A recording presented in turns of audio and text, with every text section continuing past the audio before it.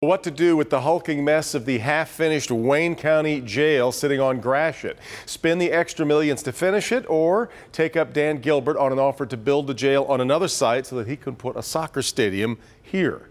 Tonight, Wayne County Executive Warren Evans with some answers on where things stand. So we bring in Mara McDonald, who is live at the jail, I guess we'll call it the jail site for now. Mara. That's right, Devin. And after listening to Wayne County Executive Warren Evans tonight, it seems pretty clear that Dan Gilbert may have made him an offer that, for this site, that he could actually refuse. Take a listen.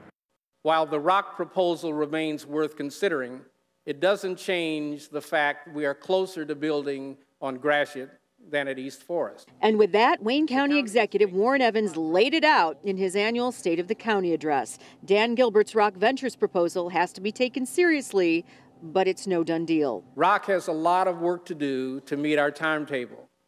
This isn't posturing or hyperbole, and it's not anti soccer.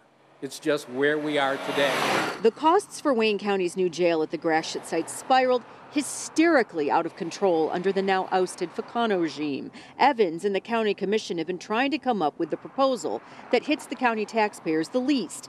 Enter Dan Gilbert, who says he'll build the county its new criminal justice complex, not just a jail, on East Forest if the county will give him $300 million and the site on Gratiot for a new glitzy Major League Soccer stadium and entertainment district. 300 million is what the county thinks it will need to spend to finish the stalled jail on the Gratiot site. At the end of the day, Dan Gilbert may have good intentions and be willing to adequately fund the three new buildings the county will need if we move to an alternative site.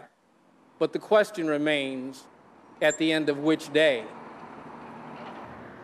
Back here live, and let's not forget that Rock Ventures is not the only name in this game. The county already has a request for proposal, or RFP, out with Walsh Construction for final numbers on what it's going to cost to finally get this thing built here. And they are expecting those numbers in May. We're live downtown tonight. I'm Mara McDonald, Local 4.